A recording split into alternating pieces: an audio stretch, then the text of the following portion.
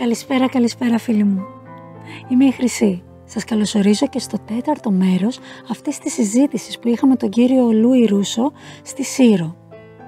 Στο σπίτι του, στη βάρη της Σύρου.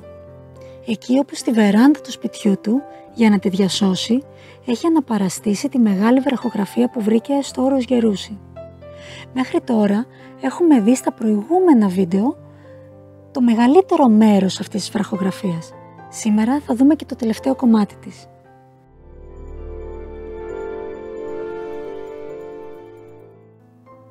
Πάρα πολλοί από εσάς έχετε την απορία πώς ξεκίνησε ο κύριος Ρούσος, ένας απλός άνθρωπος, να μελετάει την ιστορία μας και να έχει φτάσει σε αυτές τις ανακαλύψεις. Είχα και εγώ την ίδια απορία με εσάς. Και όταν τον ρώτησα, μου είπε ότι ξεκίνησε στα νιάτα του και έγινε ναυτικός γιατί ήθελε να ανακαλύψει τι κρύβεται πίσω από τον ορίζοντα. Γύρισε ολόκληρο τον κόσμο και μετά από λίγα χρόνια γύρισε στον τόπο του, στη Σύρο και δούλεψε σε μια ταβέρνα. Μετά έγινε ταξιτζής και όλα αυτά τα χρόνια δεν είχε κανένα παραπάνω ενδιαφέρον για τα αρχαία. Μέχρι που στις αρχές του 1990 ένα ζευγάρι μπήκε στο ταξί του και του ζήτησε να τους ξαναγήσει στο νησί τότε αυτός τους είπε ότι θα πρέπει να βρουν κάποιον άλλο ταξιτζή να τους ξαναγήσει γιατί αυτός δεν είχε ιδέα. Μετά όμως ένιωσε άσχημα και άρχισε να μελετάει την ιστορία του τόπου του. Άρχισε να χρησιμοποιεί τις κενές ώρες που είχε στο ταξί στις βραδινές βάρδιες του χειμώνα για να διαβάζει. Και τις μέρες που είχε ελεύθερες άρχισε να περπατάει πάνω στο νησί του για να ανακαλύψει όλα αυτά για τα οποία διάβαζε. Και τα ανακάλυψε. Και τώρα μας τα παραδίδει. Για να μπορέσουμε κι εμείς να πάμε ένα βήμα παραπέρα ή και πολλά βήματα παραπέρα. Εύχομαι να περνάει έστω και λίγο μέσα από το φακό η ευγένεια και η σοβαρότητα μέσα από την οποία έχει προσεγγίσει όλα αυτά τα θέματα. Στο σημερινό βίντεο θα τον ακούσουμε να μας μιλάει για το τελευταίο μέρος της βραχογραφίας που έχει ανακαλύψει στο όρος Γερούση της Σύρου. Για ένα πολύ περίεργο πηγάδι. Για το ηλιοτρόπιο του Φερεκίδη όπως λέγεται ή Φρέαρ ελληνικό. Ένα πηγάδι που όταν το ανακάλυψαν εδώ οι ντόπιοι νόμιζαν ότι ήταν για να βγαίνει νερό και το τροποποίησαν έτσι ώστε να βγάζουν νερό. Όμως μετά από τις μελέτες που έκανε ο κ. Ρούσος, ανακάλυψε ότι ήταν ένα ηλιακό ημερολόγιο. Πάμε να δούμε τα ευρήματά του και πώς κατάφερε να το αποκωδικοποιήσει. Αυτό είναι το πηγάδι όπως το βλέπουμε σήμερα. Αυτά τα δύο κολονάκια έχουν φτιαχτεί μεταγενέστερα για να στηριχθεί αυτό το εξάρτημα που βγάζει νερό. Αυτό εδώ είναι το ημικύκλιο ακτίνας ενός μέτρου. Η πρόσβαση στο πηγάδι γινόταν μέσα από αυτόν τον διάδρομο που τώρα είναι μπαζωμένος ε, και είναι καλυμμένος από καλάμια. Εδώ βλέπουμε ένα σχέδιο όπου φαίνεται ότι η πρόσβαση γινόταν μέσα από αυτόν τον πολύ μακρύ διάδρομο. Εδώ είναι τα σκαλοπάτια, εδώ είναι το στιθέο για το οποίο θα μιλήσουμε και εδώ πάνω είναι οι οπές, η α και η β. Όπως θα δούμε το πηγάδι έχει δύο οπές, την α και τη β, για να μπορούμε να συνεννοηθούμε τις έχουμε ονομάσει έτσι. Και κάτω από την α οπή βλέπουμε ότι υπάρχουν σκάλες. Τι σηματοδοτούν αυτές οι σκάλες; Ο ήλιος όταν μεσουρανεί περνάει είτε από την α είτε από τη β οπή και φωτίζει κάποια συγκεκριμένα σκαλοπάτια. Το καλοκαίρι, στο θερινό ηλιοστάσιο στις 21 Ιουνίου εισέρχεται από την α οπή και χτυπάει στο πρώτο τελευταίο σκαλοπάτι. Στις 3 Αυγούστου και στις 13 Μαΐου χτυπάει λίγο παραπάνω, δύο σκαλοπάτια παραπάνω εδώ. Στις ησημερίες ο ήλιος δεν μπαίνει πια από την ΑΟΠ αλλά από τη Β και θα χτυπούσε σε κάποια σκαλοπάτια που σήμερα όμως δεν φαίνονται γιατί έχει εδώ χτιστεί ένας μεταγενέστερος τείχος για να στηρίξει την όλη κατασκευή προφανώς. Και στο χειμερινό ηλιοστάσιο 21 Δεκεμβρίου οι ακτίδες του ήλιου χτυπάνε σε ένα έξτρα σκαλοπάτι που βρίσκεται έξω από την κατασκευή. Από αυτό το σχήμα μπορούμε να καταλάβουμε ίσως λίγο καλύτερα τι γίνεται. Εδώ φαίνονται τα έξτρα κολονάκια που έχουν κατασκευαστεί για να βγάζουν νερό από το πηγάδι. Εδώ είναι η α οπή, εδώ η β οπή και εδώ είναι αυτός ο τείχος που κατασκευάστηκε μεταγενέστερα και κρύβει μερικά από τα σκαλοπάτια, όπως εμποδίζει και την πρόσβαση απ' έξω προς τα μέσα στην κατασκευή, όπως πιθανότατα γίνονταν παλιότερα. Και εδώ είναι το πάνω σκαλοπάτι, που όπως ανακάλυψε ο κύριος Ρούσος, χτυπάει ο ήλιος στις 21 Δεκεμβρίου. Πάμε να τον απολαύσουμε μαζί, σε όλα αυτά τα υπέροχα που έχει να μας πει. Ναι, έχει αυτό εδώ πάνω. Αυτό με τα δύο κυκλάκια και τους δύο ήλιους εδώ. Αυτό βρίσκεται πάνω στη σύρο. Δηλαδή, το πόδι, αν πάρουμε την ευθεία αυτή εδώ από το πόδι και τραβήξουμε, πάει ευθεία στο βοριά. Ναι. Είναι, είναι βαλμένο με πηξίδα. Στο βοριά. Και πάμε 10 μοίρες δεξιά, ερχόμαστε εδώ, στα κυκλάκια. Από τη μέση στα κυκλάκια. Μέχρι εδώ είναι 140 εκατοστά. Μόνο το διαιρέσουμε το 13, ε, του 15, είναι 9,3. Αν πάμε στο χάρτη της Σύρου, στο Google, και μετρήσουμε την απόσταση, από εκεί μέχρι εκείνο το σημείο, που είναι ένα πηγαδάκι, θα το δείξω μετά, παράξενο πηγαδάκι, είναι 9 χιλιόμετρα και 300 μέτρα. Αλλά ακριβώς Πώς μετράγανε τις αποστάσεις τότε έτσι με ακρίβεια, που δεν φαίνεται από το βουνό αυτό. Είναι από πίσω. Και εδώ οι δύο ήλιοι έχει, μας λέει πως αν βρείτε αυτή την κατασκευή, λειτουργεί με τον ήλιο όταν ο ήλιος μεσουρανεί. Γιατί αν πάρουμε από τον, τον άξονα της γης μια ευθεία στους ήλιους, είναι στη μέση. Δηλαδή, εγώ που κάθομαι τώρα έτσι, όταν ο ήλιος μεσουρανεί, είναι ακριβώς το μεσημέρι. Θα το παρακολουθήσετε μεσημέρι αυτό. Έφυγα λοιπόν από τότε που κατάλαβα τι είναι. Τότε δεν, είχα, δεν υπήρχε και το Google να μετρήσω. Το μέτραγα με χάρτη. Το ίδιο ήταν. Με διαβήτη και χάρτη. Και πήγα σε αυτό το πηγαδάκι που δεν το ξέρα. Και ούτε οι δεν το ξέρουν. Λίγοι το ξέρουν. Είναι ένα παράξενο πηγαδάκι. Ναι, έχει ένα, αυτό το πηγαδάκι έχει δύο στόμια. Δύο στόμια. Έχει από τη... Από το βοριά μέχρι τη μέση του πηγαδιού το, το έχω σχεδιάσει. Εγώ έκανα και το σχεδιαστή, το ζωγράφο και όλα αυτά έχω κάνει. Έχεις σκάλες από το βοριά που κατεβαίνει μέχρι τα μισά του, του πηγαδιού. Το πηγαδάκι δεν είναι όπως από συνηθισμένα πηγαδιά χτισμένο, ξέρεις, κάθετα έτσι το βαριά. Είναι πάνω στενό και φαρδένει κάτω. Στο πάνω μέρος, ε, το πάνω μέρος είναι, τώρα, είναι αυτό εδώ πέρα που έχω φτιάξει εδώ, από τη μία μεριά για την άλλη έχει, ένα κολονα, έχει δύο κολονάκια.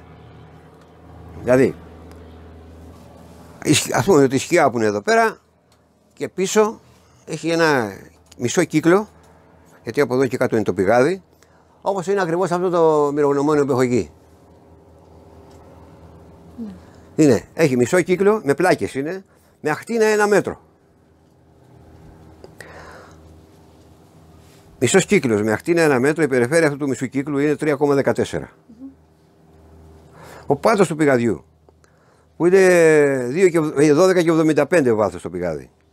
Ο πάτος του πηγαδιού είναι ολοστρόγγυλος, ολοστρόγγυλος, με ακτίνα ένα μέτρο.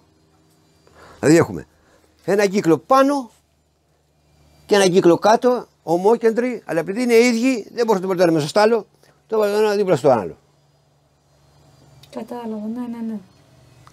Έτσι, πάμε στα κυκλάκια, τελειώσαμε αυτό. Έχει τα τέσσερα σκαλοπάτια, που, τα τέσσερα που δείχνει εδώ πέρα. Αυτό όπως είπα, έχει Ο ήλιος περνάει μέσα στο πηγάδι, αλλά δεν περνάει μέσα στο νερό γιατί δεν είναι κάθετος ο ήλιος, είναι λίγο νότια πάντα. Ναι. Χτυπάει πάνω στη σκάλα, στα σκαλοπάτια που έχει φτιάξει. Όταν έρθει στο πρώτο τελευταίο σκαλοπάτι, άκρη άκρη, το σκαλοπάτι είναι 21 Ιουνίου. Το δεύτερο σκαλοπάτι είναι 3 Αυγούστου. Μετά βγαίνει πάνω στην επιφάνεια ο ήλιος. Φεύγει από μέσα το πηγάδι. Περνάει από την άλλη τρύπα. Τη δεύτερη, τη τετράγωνη. Είναι οι σημερίε. Εκεί, από το κύριο το μέρος όμως είναι χωμένο και δεν μπορούμε να δούμε τις σημερίε. Το τελευταίο σκαλοπάτι είναι έξω πάλι κι αυτό. Έχει δημιουργήσει ένα σκαλοπάτι. Δηλαδή, αν προσέξεις εδώ, στο τέλος εδώ, έχει δημιουργήσει ένα σκαλοπάτι. Βλέπετε που πάει η κόκκινη γραμμή στην άκρη αυτή, εκεί έχει δημιουργήσει ένα σκαλοπάτι. Δηλαδή έχει ένα κάθετο μάρμαρο και ένα οριζόντιο που έχει δημιουργήσει ένα σκαλοπάτι. Εκεί είναι 21 Δεκεμβρίου ο ήλιος. Δηλαδή μετράς, όχι μετράς με τα κυκλαδικά, είναι το ίδιο μετράς και εκεί. Ναι. Πω εκεί έχει και άλλα πράγματα. Σου λέει πότε να αρχίσεις να σπέρνεις, τι να, πότε να φυτεύει το χειμώνα δέντρα και αυτά, πότε να κλαδέψεις τα μπέλια, πότε να βάλεις τους τράγους και τα κρυάρια να ζευγαρώσουν. Όλα τα έχει. Ε, ο πάτος πηγαδίου δεν είναι λίος έτσι κάτω, είναι σαν κατόπτρο. Εγώ το άδειασα το πηγάδι αυτό. Πήρα, δεν είναι δικό μου, ναι, ναι. ναι. αλλά ε, Πήρα κρυφά μια γεννήτρια, ένα μοτέρ, μια σκάλα, πεντάμετρη. Πήγα μια μέρα πάνω, λέω: με δουν, θα γίνει. Δεν με δει κανείς. Το άδειασα, μέτρησα τον πάτο του πηγαδιού. Που, που άλλοι που έπρεπε να το έχουν μετρήσει δεν το κάνανε, θα τους πούμε μετά γιατί. Ε, έβγαλα ένα ωραίο συμπέρασμα τι είναι αυτό και τι κάνει και όλα.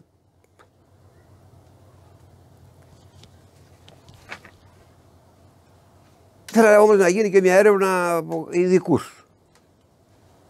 Ήθελα λεφτά. Εγώ λεφτά δεν είχα. Πήγα και βρήκα ένα εφοπλιστή, τον Συριανό. Έμενε σε ένα χωριό πίσω εκεί, ερχόταν τα καλοκαίρια, πήγα τον βρήκα, με είχα φωτογραφίες, του εξήγησα πώς και τι και τι θέλω να κάνω και αυτά.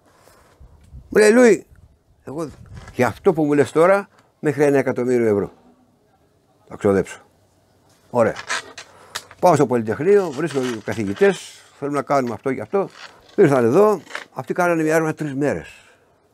Δηλαδή και ήρθαν στις 5 Αυγούστου, που ο ήλιος έχει βγει έξω από το, τα σκαλοπάτια, δεν μπορούσε να δεις τίποτα μέσα. Μια πέτρα που έλειπε, που τους λέω εδώ έχει μια πέτρα και είναι μέσα στο πηγάδι, την έχω ρίξει.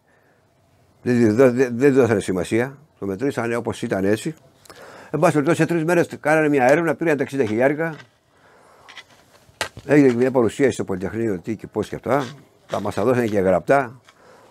Ο ένας λέει ήταν παλιό υδραγωγείο, το 2400 π.Χ. Το, το 500, το 400 π.Χ. όχι το 2000. Ο άλλος λέει μπορεί να είναι ένα ηλιοτρόπιο, ένα ηλιακό παρατηρητήριο ας πούμε. Δεν συμφωνήσανε ούτε μεταξύ τους. Σε πάση περιπτώσει, κανείς δεν βρήκε τίποτα. Αυτό ήταν μεταξύ του πράγμα είναι και ένα με συμβρινό τηλεσκόπιο. Πώς λειτουργεί όμως αυτό. Το πηγαδάκι έχει νερό. Εκεί που τελειώνουν οι σκάλες, ας πούμε ότι εδώ είναι σκάλες και εδώ που είναι η σκιά έχει μια πλάκα όρθια και εδώ είναι το πηγαδάκι που έχει το νερό. Έτσι. Υποθέσεις κάνουμε τώρα. Και πάνω η τρύπα, δηλαδή το στόμιο του πηγαδιού. Άμα κάθεσαι εδώ, έχει, εκεί που τελειώνουν οι σκάλες, έχει ένα στιθέο, μια πλάκα κοντρή, 8 πόντι πάχος και 90 μάκρος, κάθε έτσι πάνω στο πάρκο και κοίτα στο νερό. Το νερό εκεί δεν κουνάει, είναι στα 5 μέτρα βάθος εκεί το, το νερό. Τη νύχτα βλέπεις τα άστρα που καθραφτίζονται μες στο νερό. Και αντί να κοιτάς πάνω, το, το, το, ο διάδρομος αυτός με τις κάρτε είναι 80 πόντι. Στενός είναι, τόσο εδώ, κάτω. Μέχρι 5 μέτρα ύψος. στα, στα, σε αυτό το, το φάρδος μπορεί να δεις ορισμένα άστρα. στον ουρανό. Αλλά για να μην συνέχεια έτσι πάνω, δεν μπορείς. Το φτιάξα αυτό, κοιτάς το νερό, βλέπεις τα άστρα που μετακινούνται. Εκεί το νιώθεις ότι η γη γυρίζει. Το νιώθεις. Δηλαδή βλέπεις τα άστρα που φεύγουν σιγά σιγά. Θα έρχεται άλλο, έρχεται άλλο, άλλο πιο μεγάλο, άλλο πιο μικρό. Το, το νιώθεις. Εγώ ένα βράδυ μέσα ολόκληρο. Και αν έχεις ρολόι, μπορεί να πει σήμερα αυτό το άστρο πέρασε στις 12. Μετά από μια εβδομάδα πέρασε στις 12 και 10. Άρα δεν είναι άστρο, είναι πλανήτης. Κινείται. Έτσι βρήκανε τους πλανήτες αυτούς. Τώρα που τις αποστάσεις πώς μετρήσανε, ξέρανε μαθηματικά. Δεν υπάρχει και γεωμετρία, δεν υπάρχει περίπτωση να μην ξέρανε. Αυτή η κατασκευή λοιπόν, να πας τώρα και τη δεις, θα βάλεις τα κλάματα. Θα βάλεις τα κλάματα. Εγώ δεν πάω γιατί ντρέπομαι να πάω. Δεν έχω να πάω τώρα τρία χρόνια. Αφού τέλειωσα τη μελέτη μου όλη από εκεί, σχεδίασα, φωτογράφησα, όλα έφυγα, δεν ξαναπήγα. Κανείς δεν ενδιαφέρεται από εδώ να πάει να. να όχι, όχι να πάνε να φτιάξουν αυτοί, να διαφερθούν, να στείλουν ειδικούς να το ξεχώσουν, να το ανοίξουν, να το αξιοποιήσουν όλα αυτά. Σιγά σιγά θα καταστραφεί και μετά θα λένε έλεγε ο Λουίς έτσι, αλλά είναι έτσι. Εδώ είχε μια πέτρα. Πού είναι η πέτρα; Όπως άμα δεις αυτό το μυρογνωμόνιο είναι χωρισμένο σε 40 ίσα μέρη. Άκρη άκρη στις πλάκες αυτές υπήρχε γιατί τώρα δεν υπάρχει, την πήρανε. Υπήρχε μια πέτρα που είχε χαραγμένες γραμμές 7 πόντι και 8,5 χιλιό και 8 χιλιοστά. Είχε τρεις, είχε τρεις γραμμούλες 7 εκατοστά και 8,5 χιλιοστά κάπου τόσο. Ε, βγαίνανε μια με την άκρη, βγαίνανε τόσο.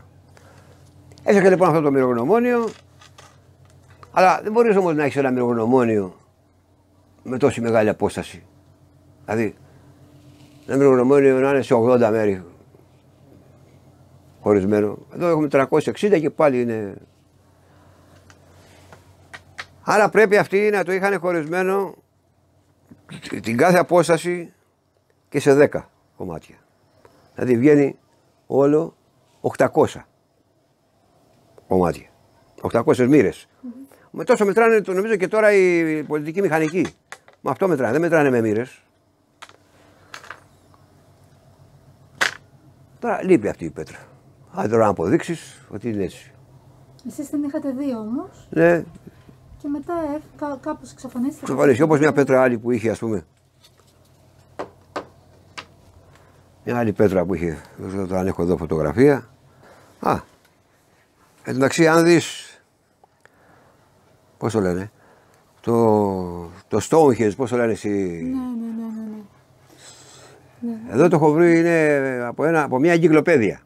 Και μπορεί να δεις όμως τη γράφει πάνω. Τι ημερομηνίες που έχει. Εδώ σε κάθε γραμμούλα που πάνω έχει γράφει πότε ναι. περνάει ο ήλιος. Ναι, Διάβαζε. Ναι, ναι, ναι, 21 Ιουνίου, 6 Μαΐου και 6, 6 Μαΐου. Αυγούστου. Εδώ είναι όμως 3 Μαΐου. 13 Μαΐου και 3 Αυγούστου. Ναι. Επειδή αυτό είναι σε άλλο γεωγραφικό πλάτος, ναι, ναι, ναι, κάτι αλλάζει. Ναι. 1 Μαρτίου, 9 Νοεμβρίου και 6 Φεβρουαρίου. Αυτά είναι άλλα που εδώ δεν τα έχει αυτά. Δεν είναι όλα συμπτώσεις. Πάμε τώρα στους υπό, στα υπόλοιπα που έχουμε αφήσει.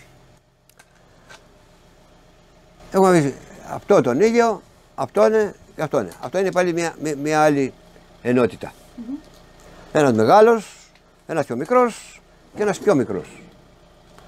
Αν πάρω μια ευθεία από το κέντρο της γης στο κέντρο αυτού του ήλιου, βλέπουμε ότι χτυπάει το νότιο ημισφαίριο. Άρα είναι ο ήλιος όταν δει στις 21 του Δεκέμβρη. Τον έχει μεγάλο γιατί; Η γη γύρω από τον ήλιο γυρίζει ελλειπτικά. Στις 21 του Δεκέμβρη είναι κοντά στη γη ο ήλιος. Χειμώνα. Αλλά επειδή είναι πολύ πλαγιαστά δεν μας ζεσταίνει.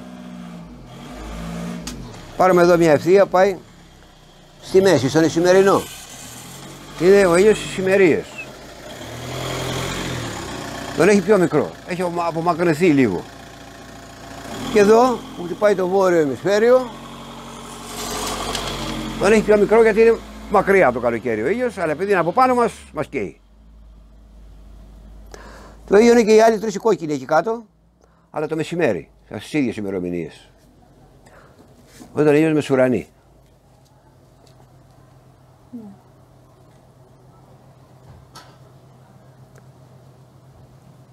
Εδώ έχει μία σπηλίτσα. Αν δεν έχει έτσι με κουκίδες. Δεν φαίνεται καλά, ούτε στο σφαιρογράφιο φαίνεται καλά και εδώ μου. Έτσι μου βγήκε. Είναι η, σπι, η σπηλίτσα που βρήκα σπασμένη κατασκευή αυτή με τα κυκλαδικά ειδόλια. Ναι. Και είναι η, θέ, είναι η θέση της αποτυπωμένη. Ναι, πάνω στο βράχο.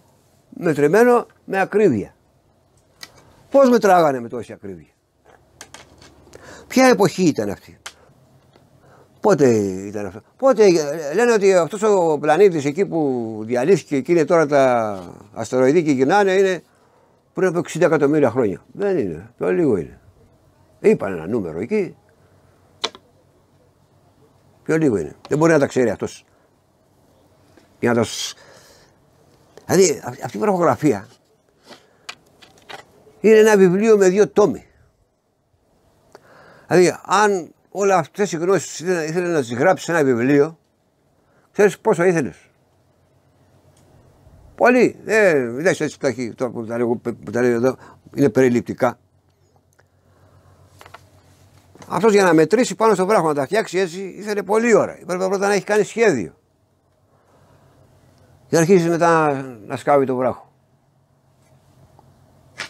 Και ο βράχος σιγά σιγά θα σβήσει αυτό. Και εγώ πήγα κρυφά και τον έχω ανήψει με ένα υλικό που να μην φύρεται άλλο.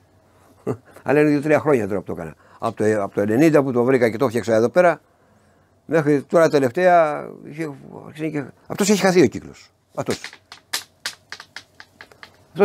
Αυτός πρέπει να. Επειδή εγώ ξέρω που ήταν, μπορώ να βρω ίχνη ακόμα από που είναι τώρα εκεί πάνω. Αυτός έχει χαθεί.